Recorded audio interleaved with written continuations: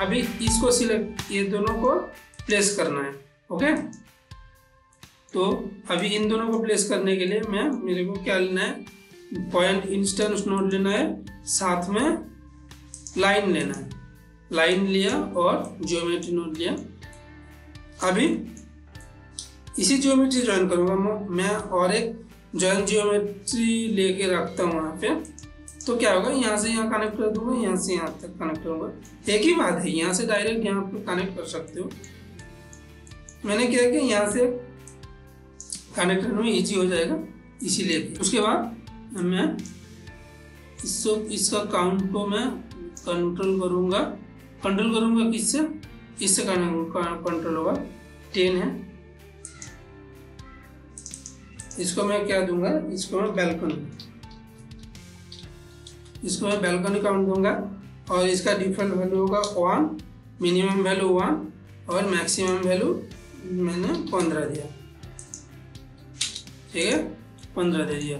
अभी इसके साथ मैं इसको कनेक्ट करता हूँ। कनेक्ट करने के बाद और इसके, इसको मैं क्या लेता हूँ? ये स्टेयर्स लेता हूँ। सॉरी स्टेयर नहीं बैल्कनी बैल्कनी नाम दिया इसको तो बैल्कनी बैल्कनी में इसको लेता हूँ। साथ में इसको ज्योमेट्री करके मैं इसको ज्वाइन कर देता हूँ। और जो बैल्कनी है बैल्कनी में बिल्डिंग जैसे इंक्रीज होगा, उसके साथ ही इंक्रीज होगा तो इसका भी वैल्यू यहाँ पे सेम रखना है। साथ में देखो बेलकनी बहुत अंदर चलेगा यहाँ पे मतलब जहाँ से चाहिए, वहाँ पे नहीं है। तो यहाँ से भी कंट्रोल कर सकते हो ऐसे करके, ठीक है? नहीं तो और एक, और क्या कर सकते हो? और एक, मैं ट्रांसफॉर्म नोड ले लेता हूँ। ट्रांसफॉर्म नोड लेके भी मैं यहाँ से कंट्रोल कर सकता हूँ। ऐसे करके तो मैं ट्रांसफॉर्म नोड ले करता हूँ। यहाँ इसको मैं जैसे है ऐसे रहने देता हूँ। और मैं ट्रांसफॉर्म नोड लेके एडजस्ट कर देता हूँ इसको, जैसे एडजस्ट करना है। एडजस्ट करके। हाँ एडजस्ट किया और इसको थोड़ा सा जेड एक्सिस में लेके गया। क्यों यहाँ पे वैल्यू सम सेम रखने से क्या होता है? इसका जो लेंथ है, इसके साथ देखो एडजस्ट हो जाता है। इसीलिए मैंने बोला था दोनों को सेम रखना है। और यहाँ पे क्यों नहीं दिख रहा है देखो? यहाँ पे भी सेम पोजीशन में होगा। और जो टॉप है, वहाँ पे बैल्कनी काउंट मैं कम कर देता हूँ। ठीक है बैल्कनी काउंट यहाँ पे क्या? इस बिल्डिंग में देखो जहाँ पे है, इस बिल्डिंग में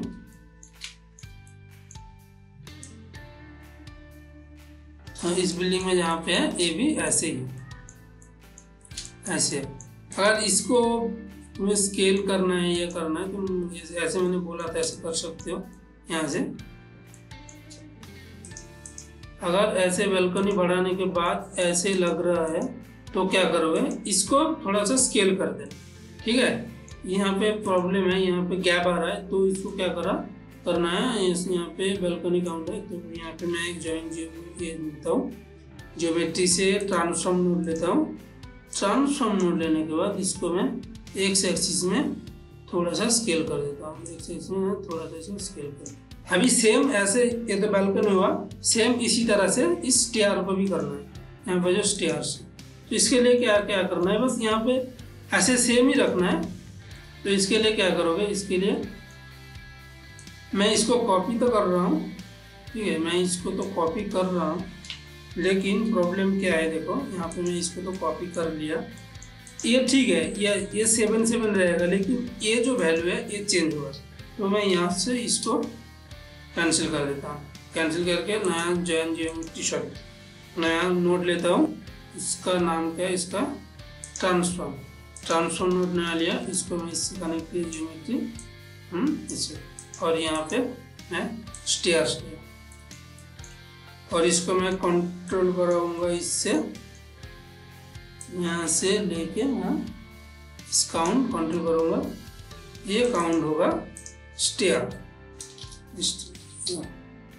स्टेयर्स काउंट और स्टेयर्स काउंट में यहाँ पे default value one minimum one पंद्रह। और यहाँ पे डिफ़ॉल्ट वैल्यू तो वन ठीक है स्टेयर्स काउंट यहाँ पे मैं ज़्यादा नहीं, चार रखता हूँ।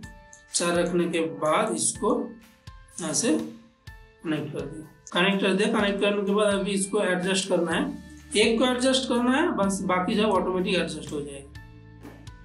एक को एडजस्ट करना है, बस इसके अंदर, जैसे इसके अंदर सेट है, ऐसे बस एक है एडजस्ट करना है, बाकी ऑटोमेटिक कंट्रोल बिंदा होगा देखो, यहाँ पे मैं बालकनी कंट्रोल करूँगा। तो बैल्कनी और जो स्टेयर्स है, इसका कंट्रोल अलग अलग दिया हुआ है। ठीक है, इसीलिए अलग अलग कंट्रोल करना पड़ेगा, इसको मैं कंट्रोल किया।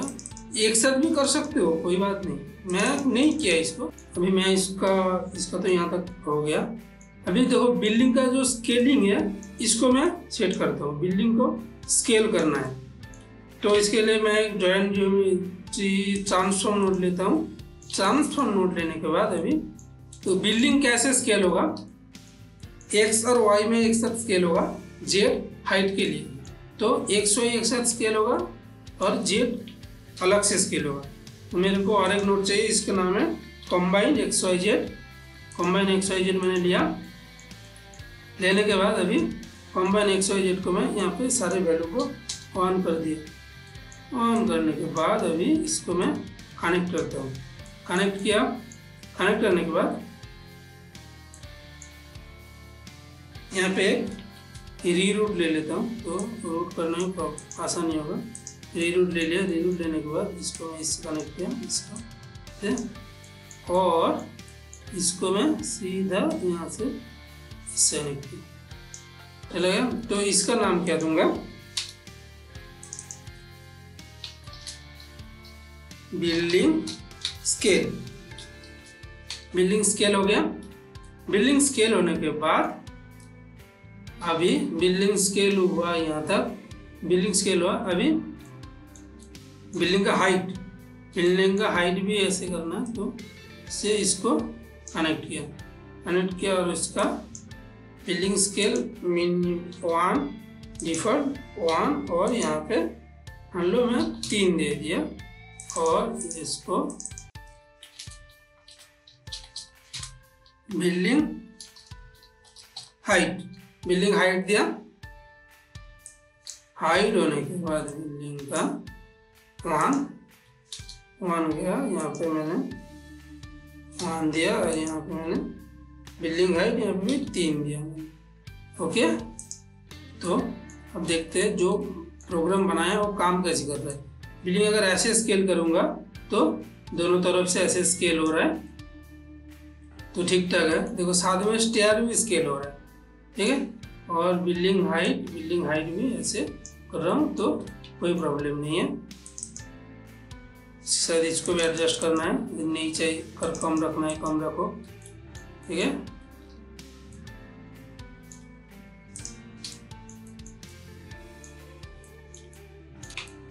थैंक यू गाइस आज का वीडियो यहाँ तक देखने के लिए।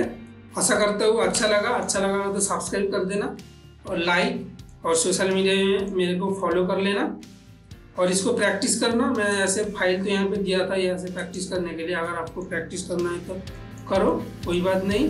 नहीं करना है तो वो भी कोई बात नहीं, बस वीडियो देख के अच्छा लगे तो मेरे को थोड़ा सा मोटिवेट करने के लिए सब्सक्राइब कर देना।